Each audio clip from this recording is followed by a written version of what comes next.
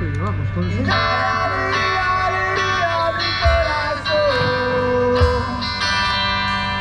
que la copa